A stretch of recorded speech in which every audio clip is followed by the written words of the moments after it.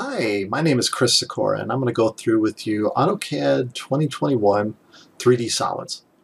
Now there's several ways to make solids inside AutoCAD 2021 and we're going to step through a number of them.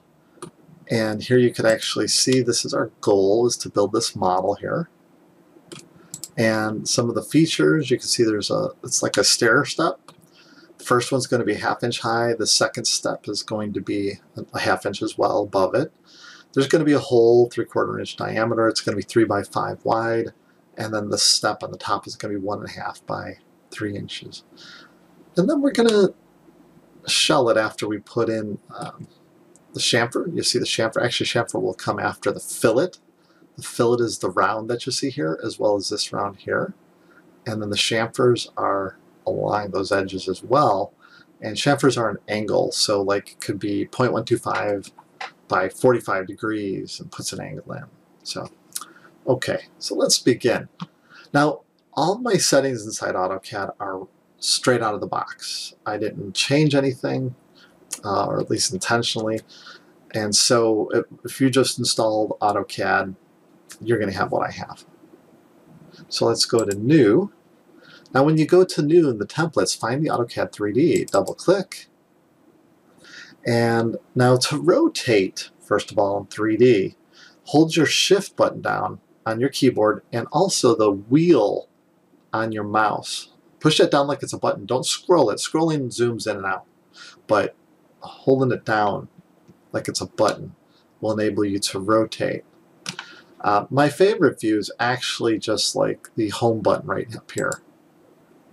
Okay, that takes you to a nice view orientation. If I say go home, that's where you click on that home. Now this allows you to rotate and do different things. Like you could grab this box and rotate. You could click on different faces for left side, top, and uh, and here's rotate 90 degrees clockwise, and then there's counterclockwise. Let's go back home though. All right, let's go to the home tab. Now in the Home tab, you see there's extrude and solids and things, but what we're looking for primarily right now is the corner rectangle tool. So click on that. And we wanted to snap to this point. Now I had my snaps turned off. The snaps, snap mode is right here, or F9 as your snap on, so you want them on. And you want it to drop right on that XYZ, that's the world coordinates system. Let's go ahead and click there. Now drag it to the upper right here. Now we want, see the dimensions there on my left? I got it just by chance at three inches. That's actually what we want for that one. So you could just type three, but don't hit enter. Hit the tab key. Now see that mine that one was four. We actually want that to be five. So by hitting the tab key, we went there. You can see it's all highlighted in blue. You don't have to click in it or try anything like that. As long as it's highlighted in blue, we just type in 5. You don't have to type in 5.00 in this case, unless it had some sort of digits after that. But once you have that, now you can hit enter, and we have our 3x5 rectangle drum. Now what we're going to do is, notice there's press pull, there's extrude, we're going to go with extrude. All right. Now, extrude is more of the traditional method that you would see in other CAD systems. Uh, we're going to go with that first. Click on this rectangle and hit enter. And it's you see it, it allows us to pull this up. I want you to drag it up. Make sure it's above the grid. I have my grid on. There's a grid toggle if you don't like it on. But anyhow, we're going to keep the grid on. And you can see it's at 1.15 or something like that. Let's go ahead and type in 0.5 and hit enter on your keyboard. And there it is. Okay, so we just made our first little block there. Now, I actually under visualize, and if you go over here, let's see, there's, um, click on where it says realistic. I do like uh, conceptual shades of gray is nice. Um, Actually, Shades of Grey is really nice now that I see it because it gives you a nice strong highlight on the edges. And we're going to end up selecting edges, so that's a good one to have on. But it's ultimately your choice, whatever you want to set that to. And that was under the Visualize tab. But let's go back to the Home button. And now, what I'm going to do is I'm going to draw on top of this. I could draw at the bottom and just make it one inch thick and be done.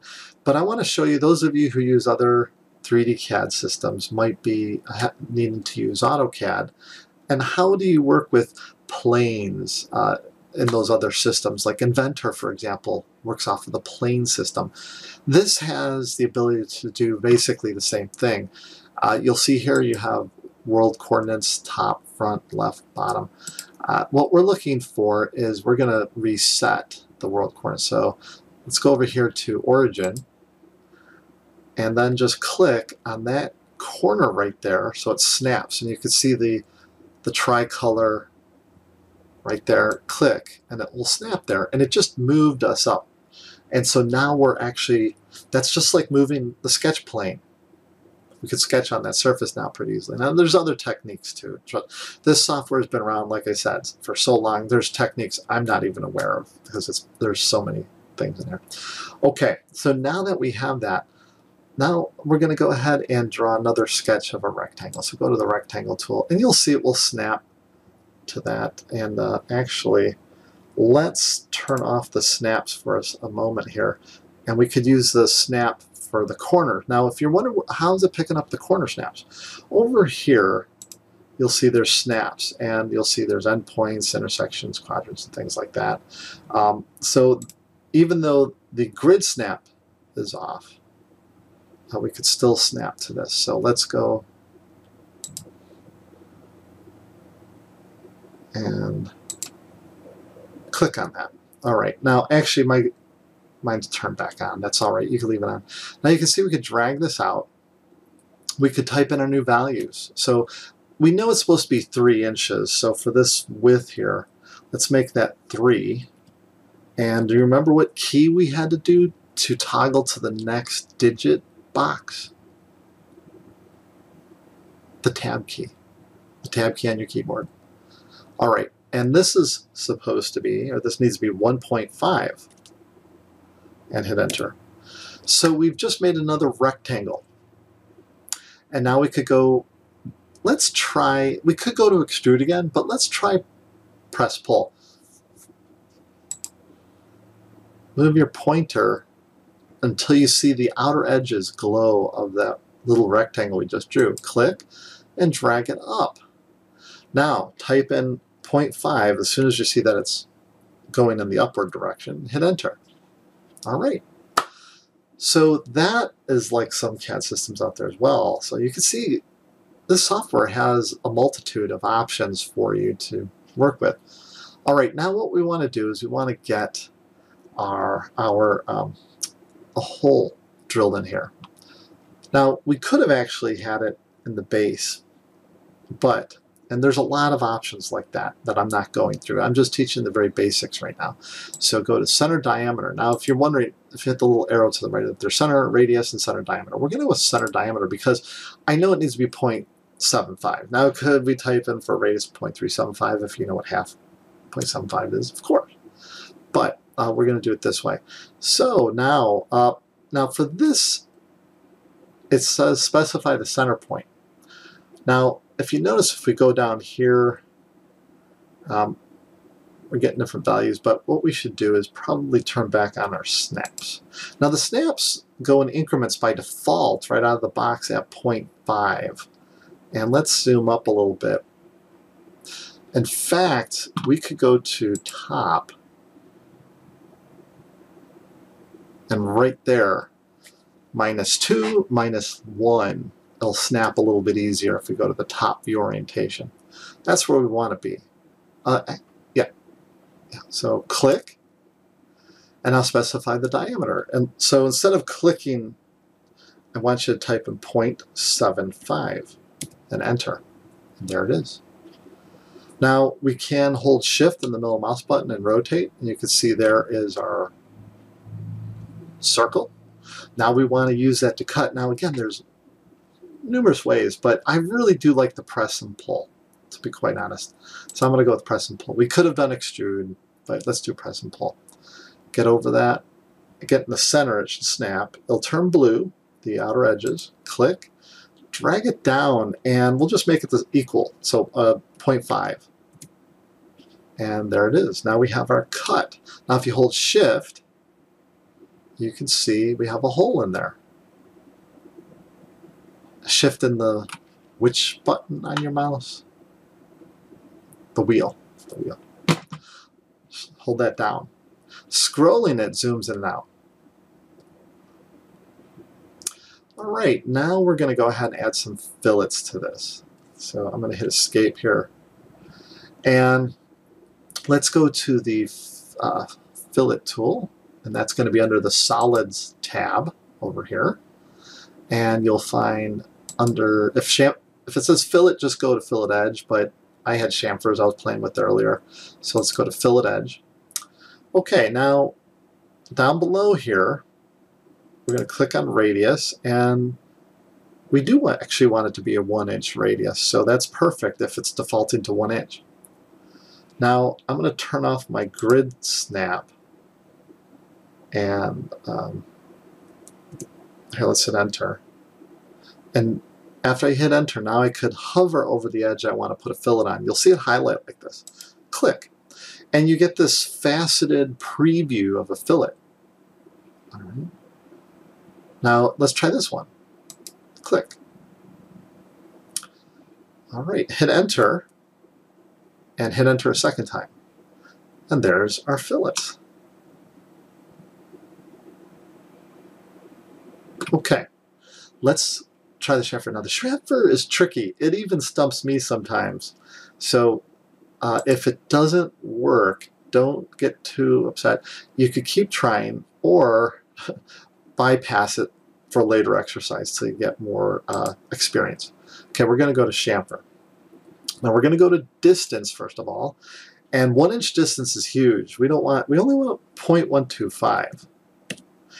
Now hit enter, and for the second distance, 0.125. And I know what you're thinking, well, where's the angle? We won't get into the angles specifically right now, but on a 90 degree edge, if you have both distances being the same for the offset, you're going to get 45 degrees by default. So essentially, we're going to get a 45 degree on here.